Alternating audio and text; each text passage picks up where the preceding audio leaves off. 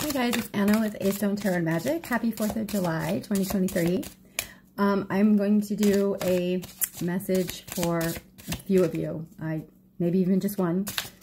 Um, but yeah, I got, like I was like, oh, I got to give a message today. So let's see what it is, okay?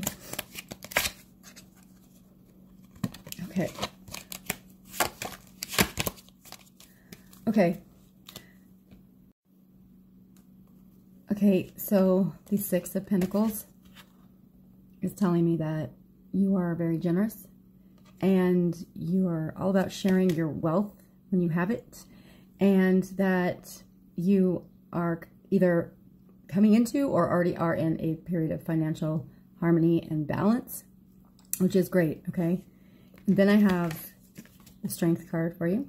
And that's telling me that you have influence and you're able to persuade people. Um, there's an inner strength to you that has the ability to overcome whatever obstacles show up in your life. Um, people tend to underestimate you though, but that's actually a good thing for you. Use that to your advantage. Let them think that you're not who you are. Um, and you're also a loyal friend and supporter. Okay, definitely I see that. Um, and then you have the Three of Wands.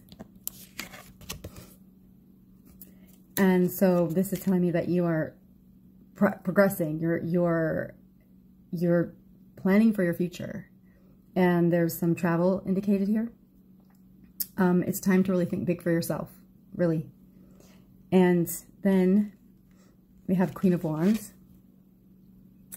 And this is telling me that you have confidence and, and independence. You're a social butterfly. And despite all the setbacks in your life, right, you are self-actualized and self-aware and you know your strengths, you know your weaknesses, you're determined, and this is a good thing. Then you have the Eight of Wands.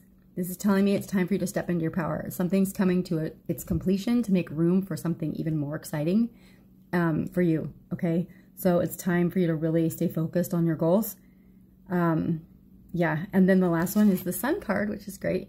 And this is saying that, okay, you're headed for success and fun, okay? So if you've been stressed out lately, like, know that that's ending. That's ending for you. Um, if things have not been going so great, um, if people are trying to keep you down, whatever, that's all going to be over with. And you're going to be um, much better off. And uh, the advice is that you need to make sure that you're aligning with your authentic self and get to know your shadow side. It's not bad. It's part of you. You need to integrate it, okay?